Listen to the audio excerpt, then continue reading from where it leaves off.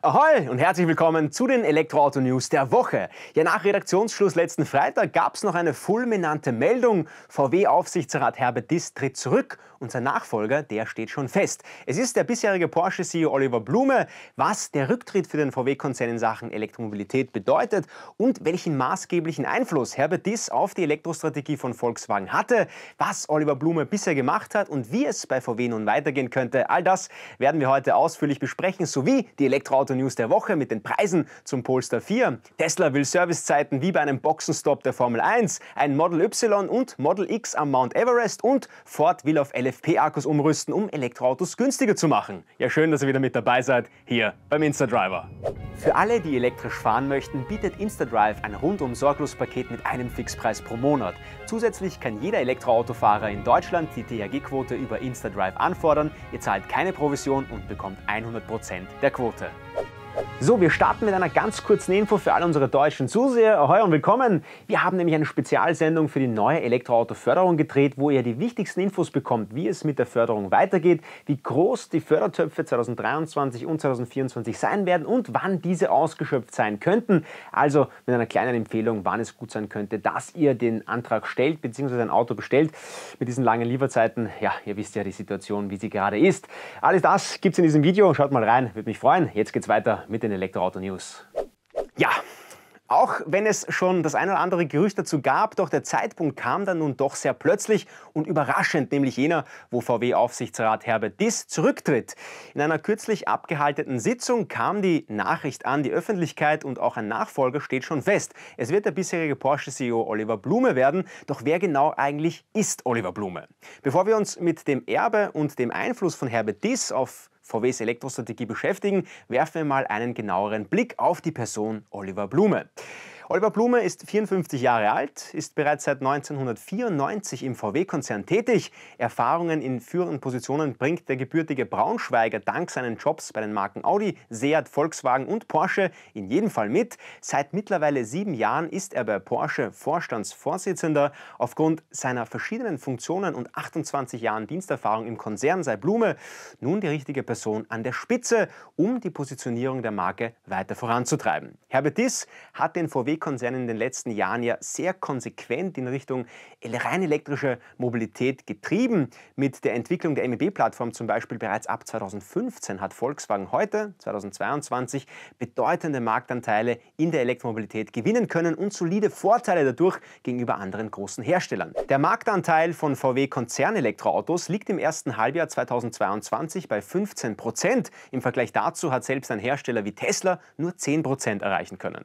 Vor der MEB BMW-Plattform hatte ja Renault eindeutig die Nase vorn mit 7,84% Anteil im Jahr 2015. Der Renault Zoe war das meistverkaufteste Elektroauto der Welt. Unter Herbert Diss ist die ganz neue Elektroschiene VW ID und gleich vier neue Elektromodelle auf den Markt gekommen. Vom ID3, den ID4 und den ID5 bis hin zum ID Buzz. Aber die MEB-Plattform wird auch bei anderen Marken wie zum Beispiel Audi, Skoda und Cupra verwendet und damit steht der Konzern Volkswagen mit ganzen 14 Elektroautomodellen von allen Herstellern am besten da. Andere Hersteller, wie zum Beispiel der Hyundai-Kia-Konzern, haben zum Beispiel nur acht Elektroautos im Portfolio. Toyota sogar derzeit nur eines mit dem BZ4, doch da bahnt sich ja schon ein Heer von neuen Elektroautos an. Ja, wie wird das Thema Elektromobilität also unter Oliver Blume weitergeführt werden? Kann VW diesen Vorteil, den sie jetzt erwirtschaftet haben, mit in die Zukunft nehmen? Erst Anfang Juli war Blume ja bei einem entsprechenden Interview zu diesem Thema geladen und befragt worden. Elektromobilität habe für Porsche höchste Priorität, doch auch moderne Verbrennungsmotoren würden weiter gebaut werden. Der Porsche 911er zum Beispiel sei beliebter denn je bei den Kunden. Eine Hybridisierung, wie auch ähm, aus dem Motorsport soll es, in, soll es in den nächsten Jahren auf jeden Fall geben und wird kommen. Blume unterstützt die von der deutschen Ampelkoalition kommunizierte Technologieoffenheit. Er sieht also auch E-Fuels als Teil der Lösung. Dennoch sagt Blume, dass bei Porsche im Jahr 2030 mehr als 80 Prozent der Fahrzeuge voll elektrisch ausgeliefert werden sollen. Mit dem Taycan wurde bereits ein sehr erfolgreicher Anfang gemacht. Über 80 Prozent Elektro und dennoch steht Blume auch für E-Fuels. Wie passt das denn zusammen? Die Erklärung von Oliver Blume ist folgende. Weltweit gibt es mehr als eine Milliarde Bestandsfahrzeuge und Porsche gehört zu den Automarken mit den meisten Bestandsfahrzeugen, die noch im Umlauf sind. Also diese Autos sind teilweise sehr gut erhalten und könnten auch noch eine geraume Zeit weiter im Betrieb bleiben und halten. Da sie aber eben mit Verbrennungsmotoren funktionieren, ist Porsche natürlich daran interessiert, auch E-Fuels voranzutreiben, denn E-Fuels könnten in Zukunft auch Oldtimer betreiben. Aber auch in anderen Teilen der Welt, wie zum Beispiel in Afrika, könnten E-Fuels eine ergänzende Lösung darstellen. Insbesondere auch deshalb, weil die Fahrzeuge ohne Umbauten betankt werden können. Das mit den E-Fuels sieht Oliver Blume aber nur als Zwischenlösung für die Bestandsfahrzeuge. Primärer Fokus ist und bleibt auch unter Oliver Blume die rein elektrische Mobilität und damit wohl äh, eine ähnliche Sichtweise, wie sie auch Herbert Diss hatte. Neben seinem neuen Posten als VW-Chef wird Oliver Blume auch seine bisherige Stelle als Porsche-Chef behalten, was die Frage aufwirft, wie sich das Verhältnis von Porsche und VW in Zukunft gestalten wird. Blume war auch in seiner bisherigen Tätigkeit schon immer ein Teamplayer, muss man sagen. In nahezu jedem Interview erwähnte er die Wichtigkeit jener Personen, die für ihn, also für Porsche, tätig sind. Deswegen ist es durchaus wahrscheinlich, dass der VW-Konzern insgesamt näher zusammenrückt. Auch wenn Porsche derzeit am Aktienmarkt einen eigenen Weg gehen wird. Hier soll es ja nach aktuellen Plänen in Quartal 4 2022 zu einer Abspaltung vom VW-Konzern kommen. So dürfte Porsche und VW dennoch weiterhin voneinander profitieren, womöglich sogar noch stärker als vor der Aktienabspaltung da der VW-Konzern die Einnahmen gut gebrauchen kann für Investitionen in die Elektromobilität, in Softwareentwicklung und Digitalplattformen. Herbert Diss war mit Sicherheit eine starke Figur an der Spitze von VW und auch eine treibende Kraft für die gesamte deutsche Automobilindustrie, muss man sagen. Auch seine Nähe zu Tesla-Chef Elon Musk hatte einen Impact, wie die Deutschen Herbert Diss gesehen haben oder immer noch sehen und vor allem sein Treffen und die gemeinsame Probefahrt des VW ID3 mit Elon Musk ist auf YouTube viele Millionen Male geklickt. Herbert Diss wird aber am 1. September nicht mehr als Vorstandsvorsitzender der Volkswagen AG tätig sein. Dennoch wird er weiterhin bei VW tätig bleiben, nämlich als Berater und dabei auch weiterhin ein Millionengehalt beziehen. Sein Nachfolger Oliver Blume bringt aber ähnlich starke Ambitionen in Sachen Elektromobilität mit und wir können uns auf spannende Zeiten mit dem VW-Konzern unter Oliver Blume freuen. Der Nachfolger der MEB-Plattform wird ja ebenfalls bald kommen. Die SSP-Plattform ist für die zweite Hälfte des laufenden Jahrzehnts eingeplant und soll neben akkutechnischen Verbesserungen auch das Thema automatisiertes Fahren näher in den Fokus rücken. VW dürfte sich auch weiterhin unter neuer Führung mehr und mehr in Richtung einer starken Elektroautomarke etablieren und transformieren. Wie Volkswagen mit dem Thema Software umgeht, könnte in Zukunft auch richtungsweisend für die ganze deutsche Automobilindustrie sein.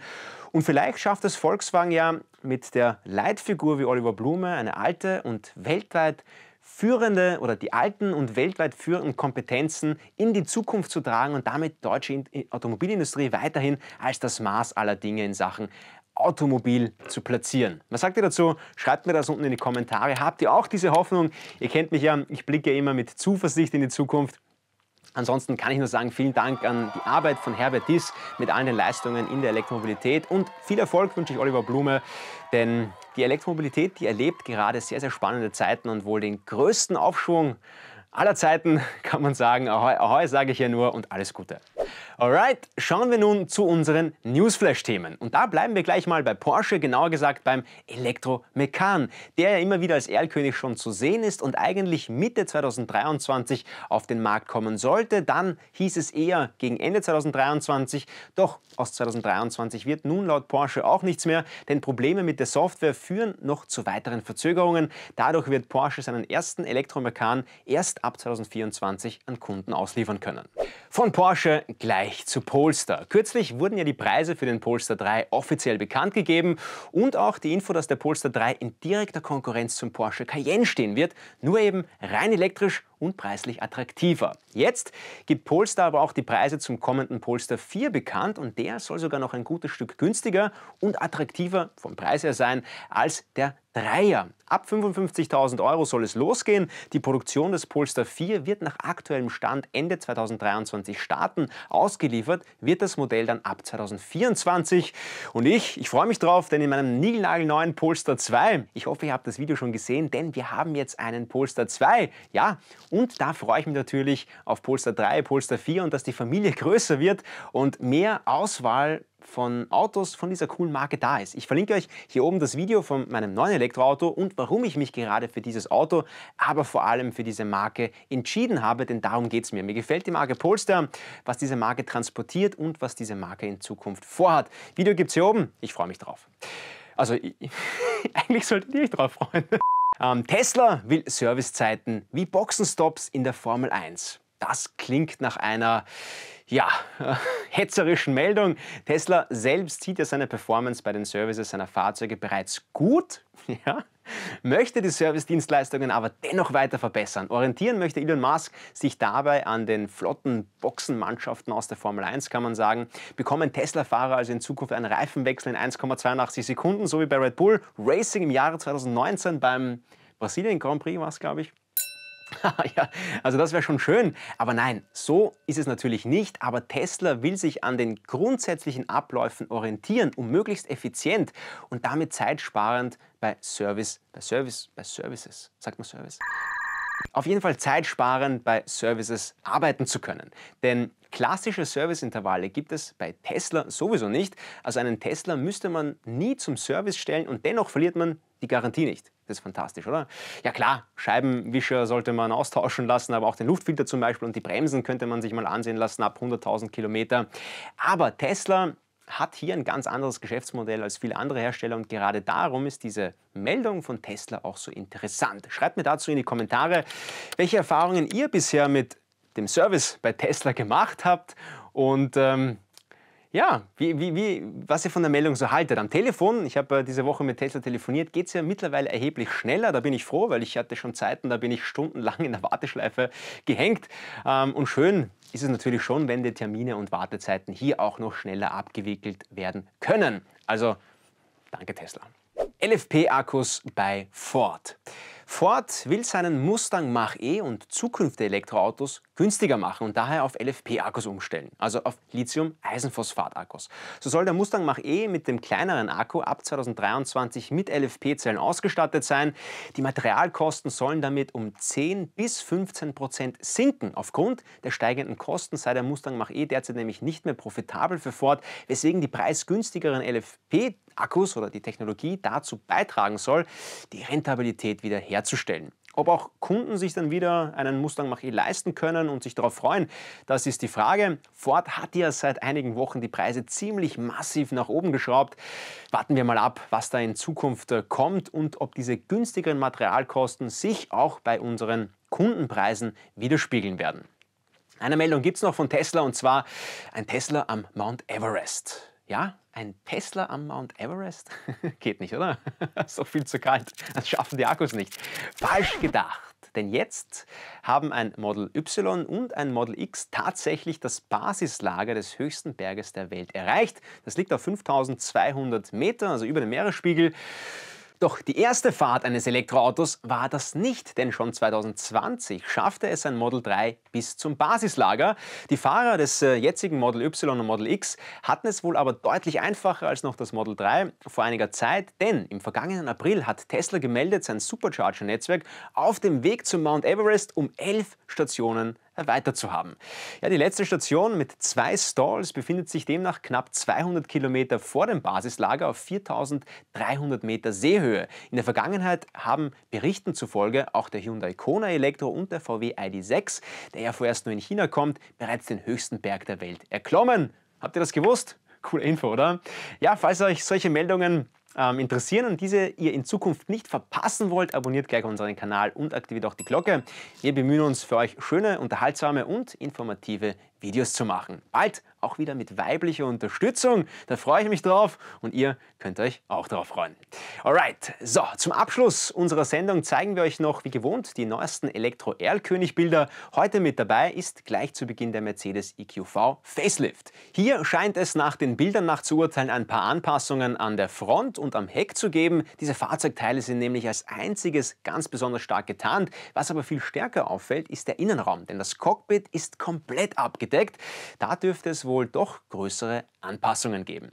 Auch vom Maserati Gran Turismo Folgore EV gibt es jetzt neue Bilder. Spannend sind jene Aufnahmen, wo ein Blick unter die Motorhaube möglich ist. Da, wo früher mal der Verbrennungsmotor drinnen war, ist nun alles komplett voll mit Elektronik. Maserati hält nach wie vor daran fest, ein erstes Elektrocoupé im kommenden Jahr auf den Markt zu bringen. Und auch den neuen Honda Prologue EV haben wir für euch mitgebracht. Ab 2024 soll das auf der neuen Ultium-Plattform basierende SUV auf den Markt kommen. Beim Erlkönig sind große Ähnlichkeiten zu Chevrolets Blazer EV zu erkennen. Das neue Elektromodell könnte durchaus sehr spannend werden. Ja, was sagt ihr zu den News der Woche? Schade am Herbert ist, nicht wahr? Aber was glaubt ihr, wird er jetzt genau in Zukunft machen und wie wird VW in Zukunft das Thema Elektromobilität voranbringen? Wird Oliver Blume auch ähm, zu solcher Galionsfigur wie Herbert Dieses in der Elektromobilität war? Ab in die Kommentare damit, lasst uns darüber sprechen. Ich bin Mate und für euch voll elektrisch unterwegs und zwar jetzt des Öfteren mit dem Polestar 2 mit mehr Reichweite und einem fantastischen Infothemen- und Navigationssystem. Mehr Infos gibt es aber in dem eigenen Video über unser neues Elektroauto. Und ansonsten gibt es noch eines zu sagen. Schaltet ein beim nächsten Video, fahrt elektrisch und liebt das Leben. Ahoi!